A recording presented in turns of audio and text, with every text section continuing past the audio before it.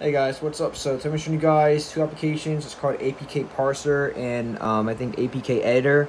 So they both are pretty much the same thing, guys. The um, APK Editor is actually like the like the the good one, I can say. So pretty much APK, it was APK Editor, but on the Play Store they actually changed the name from APK Editor to APK Parser, and it's not as good. Like it's there's some stuff you can't do, but for the most part you can. I find this. I personally find these apps like worthless. Um, you can like decode um, build apps, all that kind of stuff using this, but it doesn't really work too well. I don't doesn't I don't really like it too much. This is my opinion. But I'm just gonna show you guys this app or this APK because a lot of people do like it. It is um you know so you guys, like said, you can find the APK parser inside the um, Play Store or you just download the older version of that same app, APK Editor. Um, you can just search it up online and find it. I think I use like the Malavita or Malavita website. That's where I got mine from. Um, but yeah, so pretty much we're gonna open both them. So I'm gonna show you both of them. Like I said, pretty much the same app. So APK Editor, um, you select an APK file, or select actually select APK from from app. I'm gonna do that one instead. All right.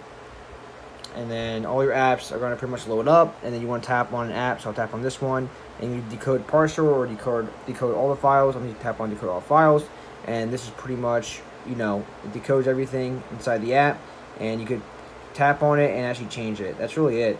Um, like I said, a lot of this is useless because like what a play button, like you know, it's cool, but it, it's useless. I don't really find anything too good. Used to be able to change like the version number, um, you know, for apps, but I can't even find that at. You guys should like search up stuff down here, but I couldn't find the like change the version. Um, so yeah, you can change like the text and stuff and all that stuff. I mean pretty cool, I guess. You have files right here. You have your manifest. Alright, so that's this one right here. And then you could also, like, you know, there's actually a section. So we're to go back to here. Uh, you can build it after you're done and all that. Alright, and then the other one, like I said, pretty much same thing. It's called APK Parser. This is the one you get down from the um, Play Store. And you can tap on the same thing. And then it's to load up the apps you have installed on your device. And then you can tap on app or game and then same thing. You just pretty much would tap something and then you can edit it. So like that'd be cool if you actually edit like watch the video and add um, extra coins. Actually if I could press you know press it alright? And then like actually like edit the value of like the coins I get. That's pretty cool.